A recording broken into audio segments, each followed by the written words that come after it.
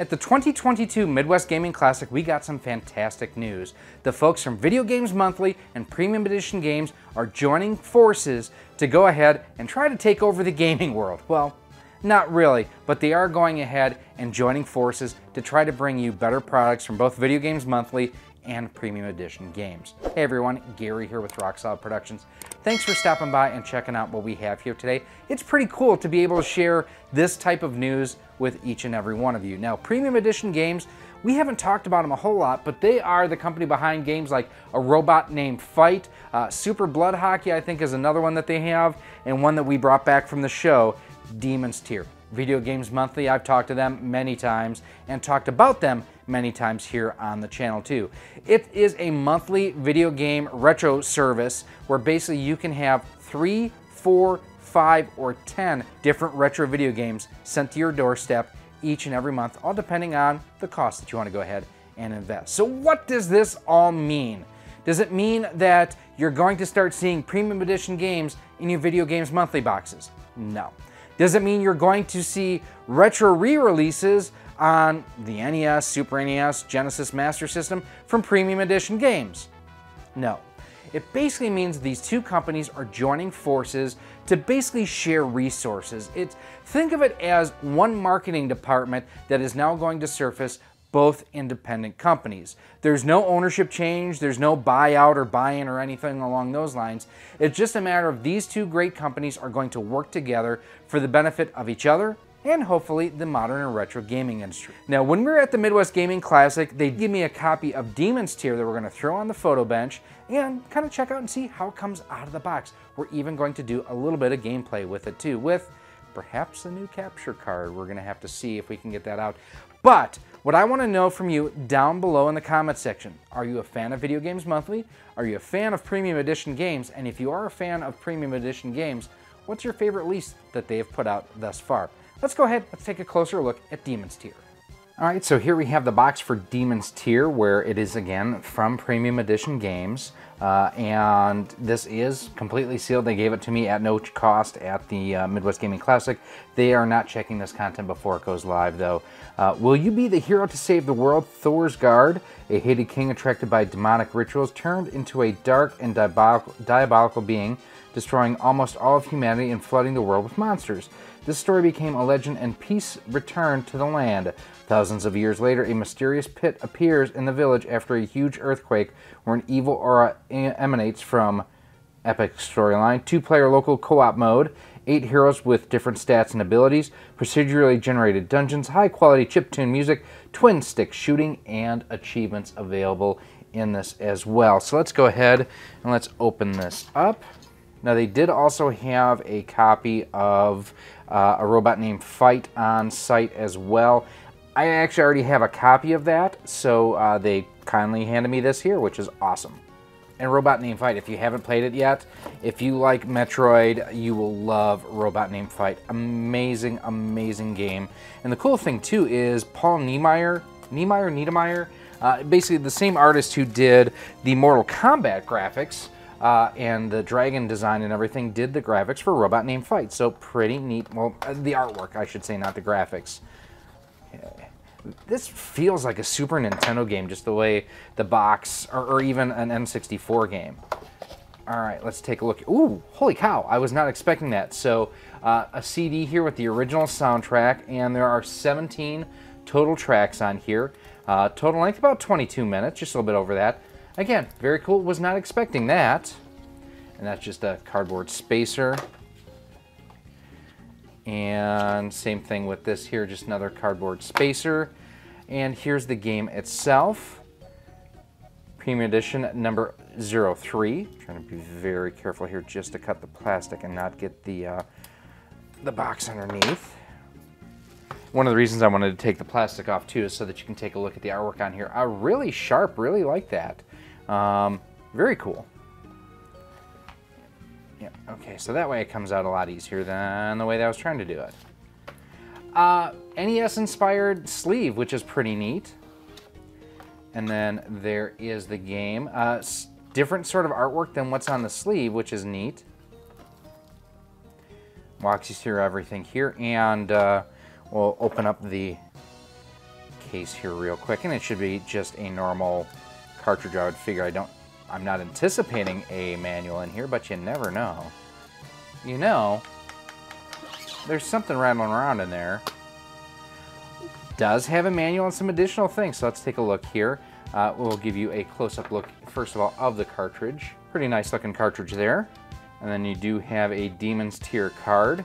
Beat the third boss with the clerk to earn a patch. And it actually does have an instruction booklet. Very cool. I know someone recently took me to task I called it a manual. Manual booklet, it, six and one, half a dozen of the other. Full color. Pages are a little bit stuck together. Ring menu, skill, accept, dodge, attack.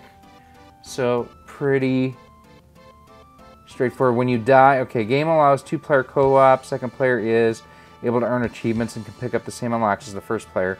When you die, you start over. Shooting is done with the right stick. Blocking is done with R and a cooldown. Ability is used with Y with cooldown. Enemies drop D tokens. Okay.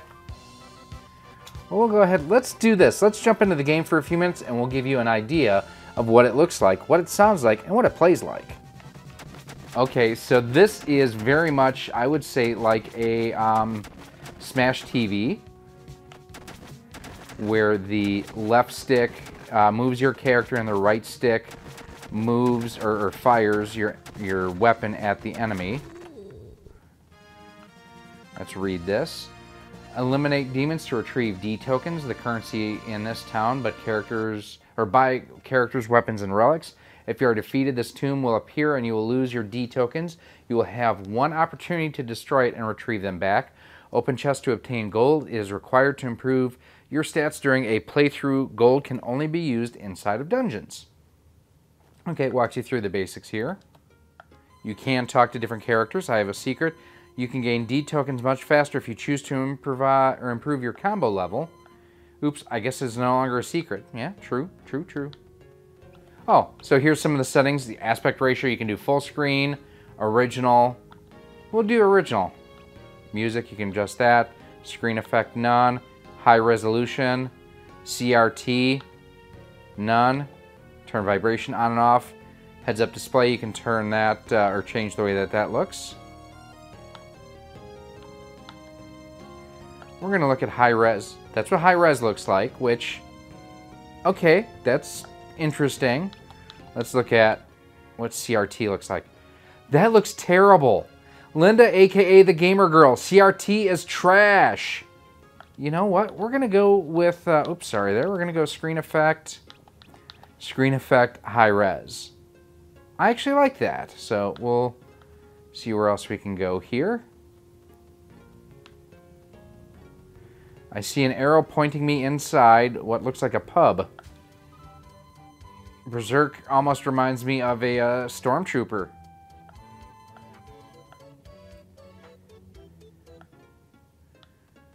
Okay, now it's telling me to go down the hole.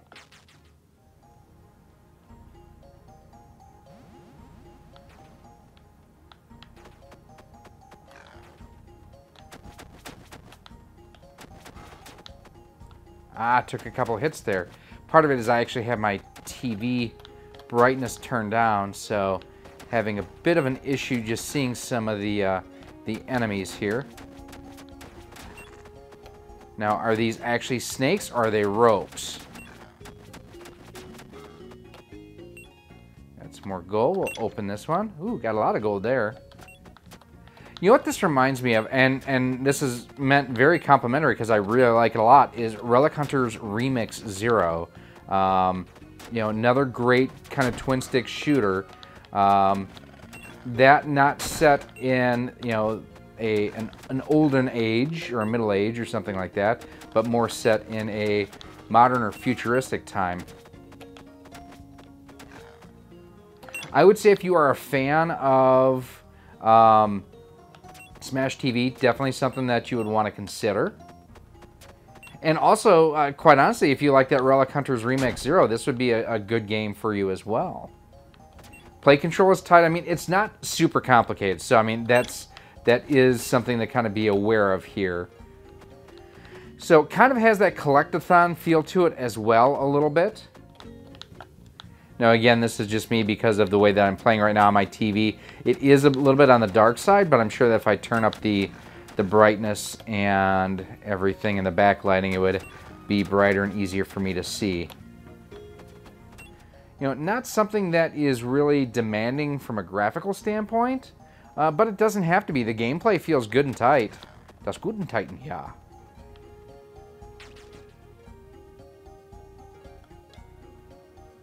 And when you get to the end of each round, it looks like it gives you an update on your stats, which is good. So, um, so far so good. Uh, yeah, this is something I can see myself definitely spending some more time with. Not what I thought. I was expecting more of a um, like a Metroidvania, quite honestly. But I I like these types of games quite a bit. Um, you know, it's one of those where you know. For me, I'm not super into RPGs. Actually, I hate RPGs. Let's just be honest about that. Um, I was a little concerned that with just the artwork and whatnot that it might be something like that, but no, not at all. This is definitely something more of a, a run and gun or a shooter. Um, come on, get out of the way.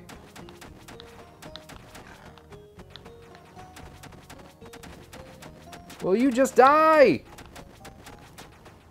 But something you'll definitely want to check out. I'm uh, sure that you'll be able to order it through the Premium Edition Games website and more. So let's go ahead and let's wrap things up.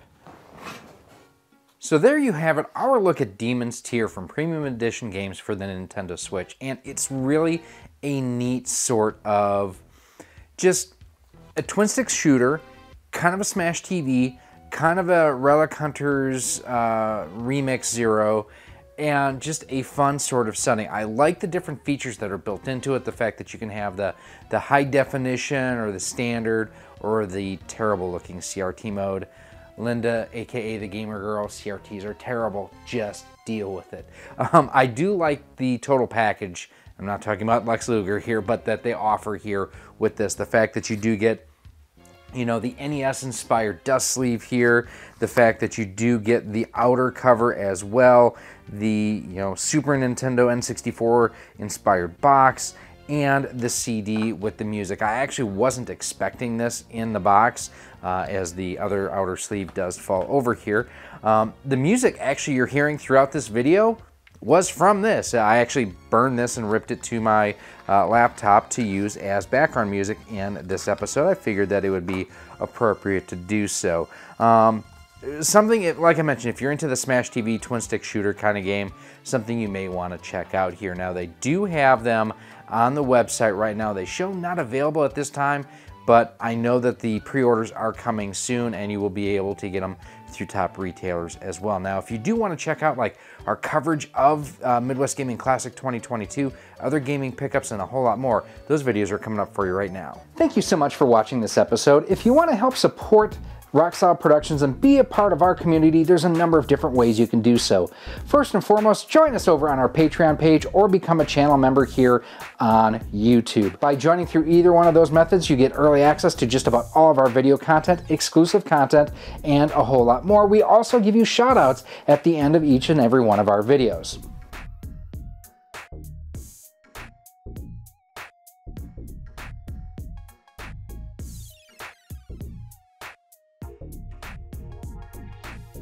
You can also pick up some awesome Roxolid Production swag. We've got t-shirts, sweatshirts, hoodies, and more available through our Teespring store on screen right now too. You can also pick up some of our awesome 3D printed cartridge stands, amiibo holders, Nintendo DS holders, and more by visiting our 3D printer store on screen right now as well. Links for everything will be down below in a pinned comment. If you want to stay up to date with everything we have going on here at Roxolid Productions, make sure that you're following us on the different social media networks.